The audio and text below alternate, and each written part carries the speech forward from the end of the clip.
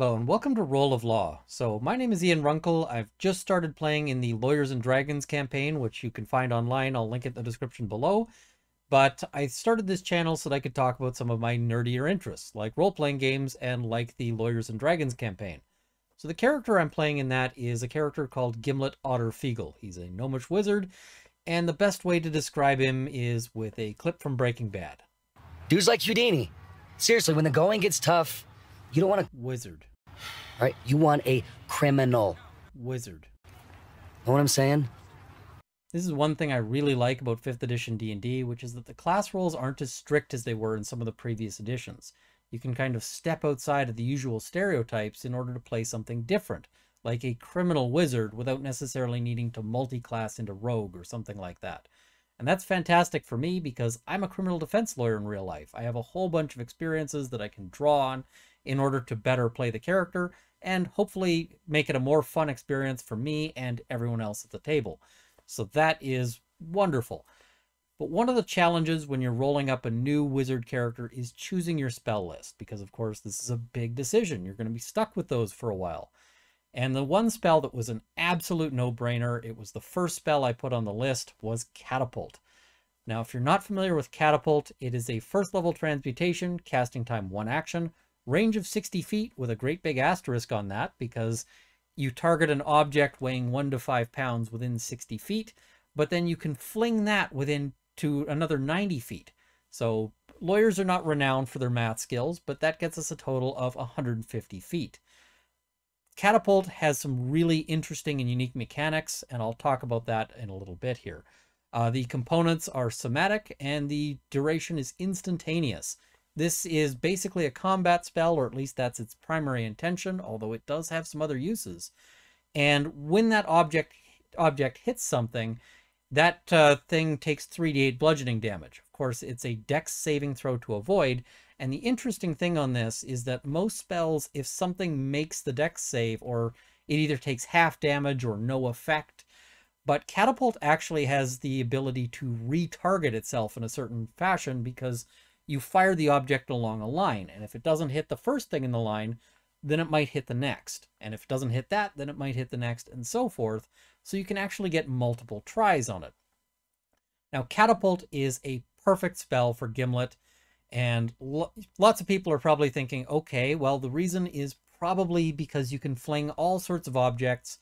And so the usual thing people talk about is using this to throw things like Alchemist Fire, or nets, or holy water, or these kinds of things, and saying, okay, we'll get our 3d8 bludgeoning damage, but then we can also set it on fire with the Alchemist Fire and get some additional damage. Now, rules is written, this doesn't actually work in the sense that if you strictly apply the rules, Catapult does 3d8 bludgeoning damage, and that's it, no matter what you throw with it. So it doesn't matter if you throw Alchemist Fire, 3d8 bludgeoning. It doesn't matter if you throw a sword, still 3d8 bludgeoning damage. Or a dead porcupine with spikes on all sides you can see how this sometimes doesn't make a whole lot of sense, and most DMs will allow you to throw things like Alchemist Fire and so forth. This basically turns Catapult into an option where you can essentially add an expensive material component and get some additional effect. I don't think this breaks the game in any way. I don't think it's an unreasonable thing in any sense. But if your DM doesn't allow it, your DM is just applying the rules as they are written. So talk to your DM before you assume that that's the uh, that that's an available use. But this is not why it's perfect for Gimlet. Um, the main reason I want to take this spell for is because it's hilarious. You can target an object between one to five pounds and then fling it at something. And there's a giant list. This is just from the player's handbook. I'm going to bring up the list here. Hopefully it's scrolling across my face right now. And you can see all sorts of things that you can actually fling with this spell, some of which are really going to be a lot of fun. And you're not limited, of course, to things that are detailed in the player's handbook. You can throw anything you can imagine. You can throw a rock, you can throw a tree branch. And remember how I said that rules is written, it doesn't matter what you throw, it does 3d8 bludgeoning damage. That actually can work both ways. That can work to your favor as well because according to the rules as written, if you throw a one pound pillow at something, you can pillow fight it for 3d8 points of bludgeoning damage. So the wonderful thing about Catapult, or one of the, the really fun parts about this spell, is just that you get to pick objects and turn them into 3d8 points of bonk. Um, just, that is, in and of itself, magical. But it is it goes even beyond that when you're playing a criminal character. The components, as I mentioned, purely somatic. There is just a somatic component. There's no verbal component, which means that in theory, you can cast this from hidden and you might not, you know, reveal your position. Especially because Catapult, as I mentioned, has very unique mechanics. No other spell that I'm aware of has this thing of you target something and then it flies in that fashion. Telekinesis does let you throw things, but it's not an instantaneous spell in the same fashion. But this actually means that you can do some interesting things with sort of indirect fire, not as in like mortar shells, but as in you can actually target a creature or you can have a creature and you can target an object that's behind it and make it see or make it feel that it's being attacked from behind because now the objects that are flying at it are flying at it from behind.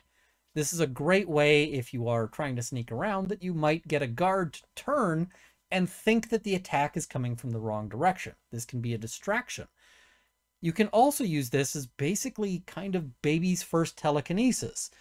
Mage Hand allows you to do some stuff within a short distance, but here you can actually just fire something. If, if all you need is that you want that object to be in a different place, you can use this not for the damage purpose necessarily, but just to move the objects. So you can, you know, fire something in order to, if something has dropped a weapon, you can remove that weapon from it within reach. Or you could potentially use it at, just as a means of theft. You see something and you cast the spell and you fire it out and then go retrieve it from wherever it lands. All of these provide for a lot of fun and yeah, I'm really looking forward to playing around with this one because being able to turn objects into bonk is fantastic. So yeah, this is kind of just my thoughts on this one. I know that, uh, you know, Catapult is not the strongest damage spell. Magic Missile typically will is much more reliable damage, and over the course of your campaign, you're probably going to do better damage-wise with Magic Missile. But for Gimlet, it's the wrong choice. I'm looking for something that's both a little funny, but also something that I can use in a variety of ways and that really meshes with the sort of concept of this criminal uh, wizard, this character who might be up to no good. So that's kind of my thinking on this one. Anyway, I just kind of wanted to share that with you. I, as I said, I started this channel because I'm going to be doing the Lawyers and Dragons thing on a, a regular basis here. I'm really excited about that. And I knew I was going to want to make videos and talk about all of my thoughts on this. So here's the first one of those. Let me know in the comments below what you think. Um, like this video, share it with your friends, subscribe to see more content if you liked all of this. Thank you for watching, and I'll see you next time. I'm sure I'm going to have more thoughts as we go.